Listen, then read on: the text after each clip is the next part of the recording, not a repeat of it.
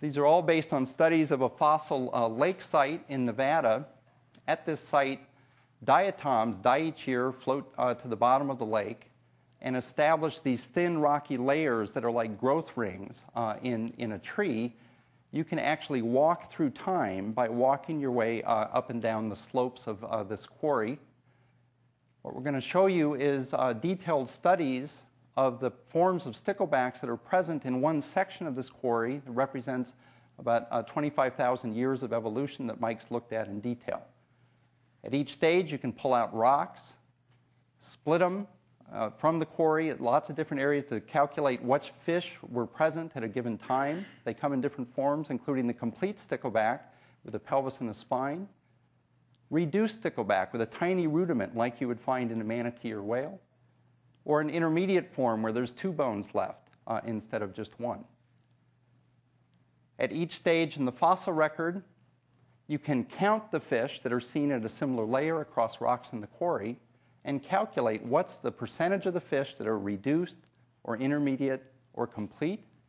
And you can do that for successive stages as you walk through time. So this is a summary of actual data from uh, Mike's lab, calculating and counting lots of different fish and rocks. They all start out reduced.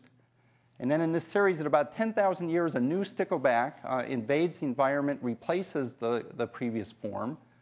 This stickleback has a complete pelvis. And a very interesting thing happens over the next 10 or 15,000 years. That complete form re-evolves pelvic reduction with intermediate fossils seen along the way. Okay, we'll show you that time series again. Starts out with a population that's 100% pelvic reduced, rapid replacement around 10,000 years, new form all with a complete pelvis, and then the re-evolution of a pelvic reduced phenotype, intermediate forms uh, seen along the way. You can also see that in line graph form a blue line for the reduced form that predominates in the early stage, a red line for the complete form that rapidly replaces at 10,000 years, and then the re-evolution of pelvic reduction with an intermediate form summarized by the green line uh, shown during the time series.